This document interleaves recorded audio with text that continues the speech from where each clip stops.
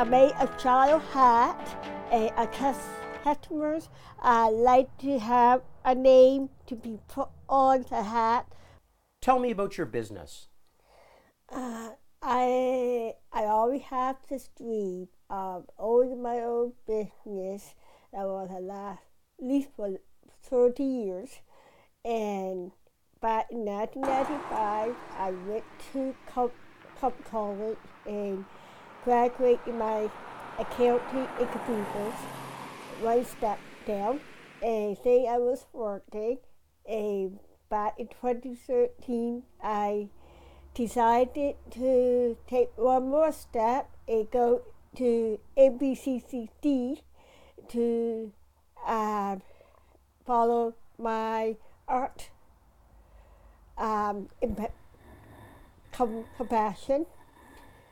And then um, after that, I always have this dream that I like to help other people with disabilities or anybody who is capable of having a hard time getting employment or follow their, their own dreams and I want to reach out to them. And here I am, and I want to uh, be there for a people of New Brunswick. Tell me what it's like to be a person with a disability. Uh, a lot of struggles. Uh, I could go back to a very young girl, and a lot of people at that time think I will be able to get past grade two. Uh, I them all wrong. I people may eat a pot holder, and it hold a, a teapot or a hot dish. They told my parents I'm not allowed to have my own home or ride a bike, and I I had to fight through this every day. And some days I feel like um why, but I'm not going to do it because too many people out there need to improve on their own self because everybody have a disability in some kind of others. Sometimes it's more easy to see it outside, but people do have disability inside of their self. You want to be able to help other people who have disabilities. Most of the craftspeople who provide you with items here, yeah. they have some form of disability themselves. Yeah. Um, when you're drilling glass or stone uh, with these Dremel uh, type drills, you do need to use water. Water makes the uh, drill motor not have to work so hard. My name is Jocelyn Masral, and I go by the craft name um, Jocelyn Road, and I do glasswork, among other things. Tell me about your craft. It's glasswork. It's recycled glass. It started out by um, tumbling rocks, stones, because I'm a I'm always looking down at the ground, looking for something shiny or a different shape or something. This glass has been tumbled already. This came out of my tumblers. These are my tumble barrels um, that would have gone into that would have rolled probably for at least three weeks for me to get a soft finish like that. And then um, you know it was all the you know everyone's hunting for sea glass it's kind of like sea glass isn't found as easily as it used to be. There are certain pockets where you can find it. Um, and I thought, you know, like I just broke glass last week. I could throw it in the tumbler and see what happens. Okay, this is uh, recycled glass that was tumbled. Um, it tumbled for probably about three weeks to get this smooth finish. Um, at this point, it's ready to be drilled. It's a bit noisy. You got to hold on to the glass, line it up as to where you want your hole. And so it started like that. And then it's like, okay, well, what am I going to do with this? It's too big for earrings. And for earrings, you needed like a matching set, and I couldn't cut it, you know, to match or whatnot. But I started making pendants with it. So this is the finished part. It has a hole in it, um, which is ready for me to use a stainless steel wire to wrap. Normally, with the uh, before I start wrapping it, I put an oil on it. Uh, you could use pretty much any kind of oil, but I like to use an argan oil because it really brings out the color and it stays um, it stays nice. It's matte, but it, the color really pops that way. And then, you know, it evolved. I started using a Dremel and a, a drill press to drill holes in it so that it would hang better. And I used like, you know, your stainless steel type wire and whatnot. But as time went on, it, you don't break as much glass as you think you're going to in your house. So I would put the word out if you break anything, and especially if it's got color, I want it. And um, and then I would start going to like yard sales, looking for stuff that people are, are getting rid of, and right down to the recycle depot. I was like, do you have blue bottles? Do you have like, you know, these the big one is uh, the gin sa- Bombay Sapphire Bombay, and it's because it's a light blue bottle. And um, so I would always hunt for different color. So it's just a lot of threading. So then I take this, I thread it through the hole, and I like to make like a, a design on each side. And it's really hard because a lot of the, the glass today is um, it's like glass and then it's almost like painted on color. So once you tumble it, the color is off. So to find the actual glass that's colored all the way through, it's, it's not all that easy. You get it in wine bottles, beer bottles, that sort of thing. So, Jocelyn, like a lot of the craftspeople who sell their products at Kathy Studio, you are a person with a disability. I am. Tell me about your disability. Um, I have MS, and um, over the years, I've had it for almost 17 years, is when I was diagnosed. Um, and it, I have good days, bad days, but over the 17 year period, um, things have pro- progressively gotten worse. Um, doing my craft work is one of those spaces where um, I'm free. You know, it's stress free and um, I don't have a time limit on it. Okay, there, my piece is all done. I'm Sherry Robinson and I make huggable owl pillows. This little one, I've stuffed it and I'm just stitching up the bottom and then it's good to go. It will be completed. Tell me about your particular type of craft.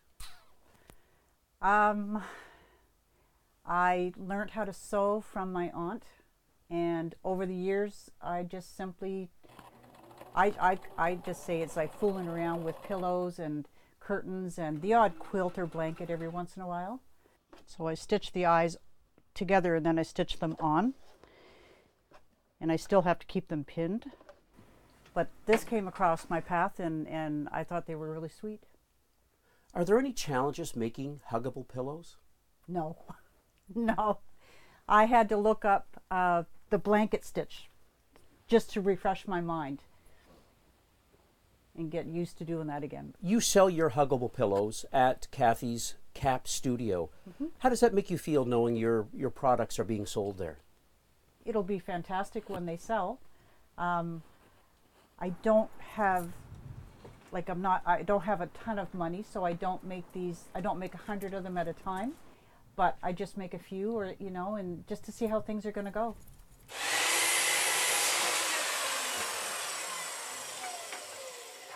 And I started uh, woodworking uh, four years ago here in the shop, and I first started to make furniture for my wife and I, uh, bedroom sets, including a headboard uh, and two dressers. I made a nightstand for my father-in-law for Christmas. Made my wife a Julie box uh, as well. I've made my parents' 50th anniversary table that we, uh, the family had all signed. It was very special. Um, I've done other work as well this past summer, building vegetable stand uh, gardens, uh, a couple of headboards. Uh, um, currently, I met Kathy Page uh, at the at her shop, and I've been doing Christmas uh, crafting for the past couple of weeks now uh, for her. Uh, a couple of reindeer, uh, some sleds, Christmas tea light candle holders, small reindeer, cell phone holders.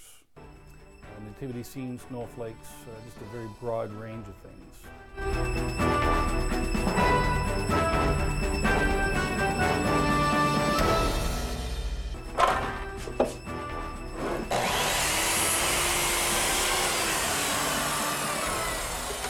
Your crafts are being sold at her craft studio. How does it make you feel knowing your, your work is being sold at her shop? I'm proud for the fact that I was given the the tools and the knowledge from my father, and so no, now I'm actually able to create these things in my own shop. And if people, um, you know, appreciate them, they're going to buy them. They're going to tell their friends. You know, these will be things that they'll have for many years to come. It's not a throwaway item. So you've met Kathy at her shop. Um, she's quite an enterprising woman. What, what do you think about Kathy Paget? Uh, I think it's great for an independent person to leave from craft school, um, have those skills behind her, and create her own business, and then to actually involve other crafters in the local community as well, so that uh, everybody has a chance to bring their things there, um, have them on display for sale. It helps Kathy's sales for her own personal things, and it uh, just promotes the community. You know, we have a lot of great people that um, do many different kinds of works for the most part, a lot of the other craft people ha- are persons with disabilities.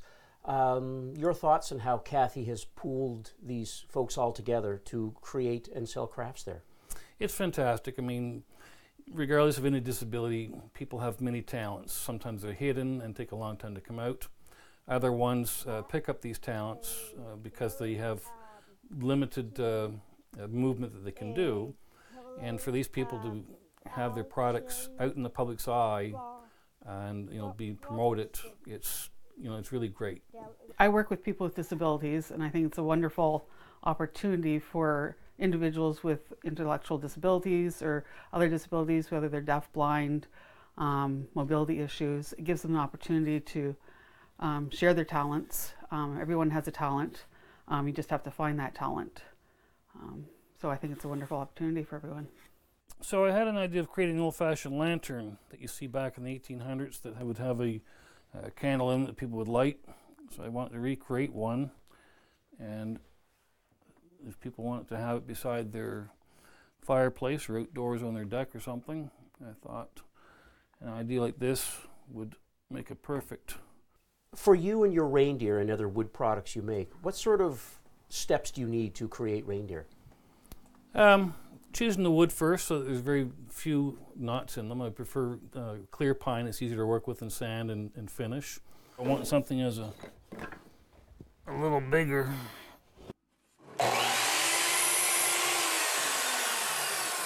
From there, I just uh, everything that I've done is basically I've seen pictures maybe somewhere, uh, but it's mainly out of my own mind that I've created these things. I'm not duplicating someone else's work uh, totally and just if you're ever having a bad day, you can come out in the shop and spend, you know, get lost in your work for hours. I'll get a phone call from my wife, "Are you coming in at you know 9:30 at night?"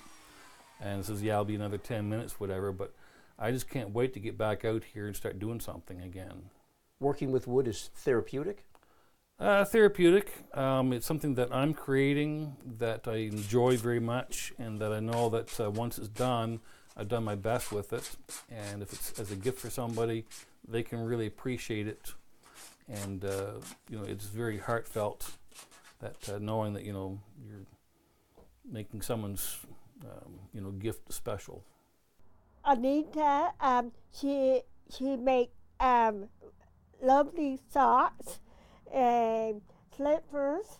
Okay, I made a lot of socks and, and these are the wool 100% wool. I like this yarn. Tell me about your craft work and what you do. Uh, I knit, uh, crochet, and made some decoupage. Okay, and uh, I made uh, raw plates, and this technique called decoupage. And decoupage is uh, I put uh, on on regular uh, plastic plate, I put designed napkins. Kathy Paget sells your crafts at her shop in Fredericton. Um, what do you think of her endeavor to sell crafts there? Yeah, I think I little bit help her. It's a little bit help her. How does that make you feel knowing that their products are being sold here? I love it. Eh, I like to see more. Eh, I like to see more people uh, come together and be like a community. These are handmade merino wool baby booties. It's very nice for for the small feet. That is my stuff. Oh, oh wow.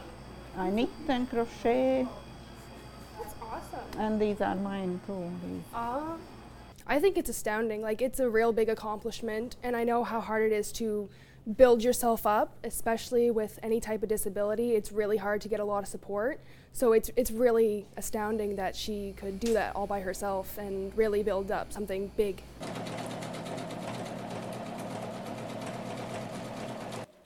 Running this business gives you a degree of independence. How does that make you feel?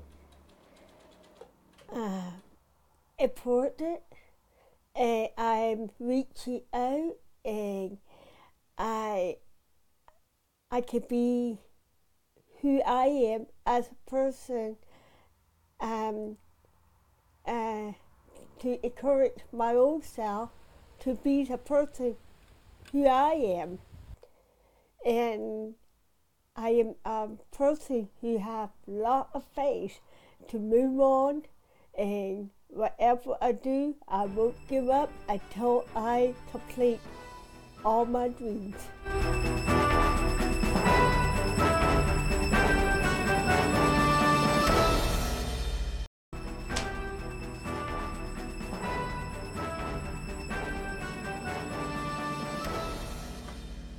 Some of the crafts here in the store are ones that you've made yourself. Tell me what types of crafts you've made here. Uh, the weaving, uh, this one already sold.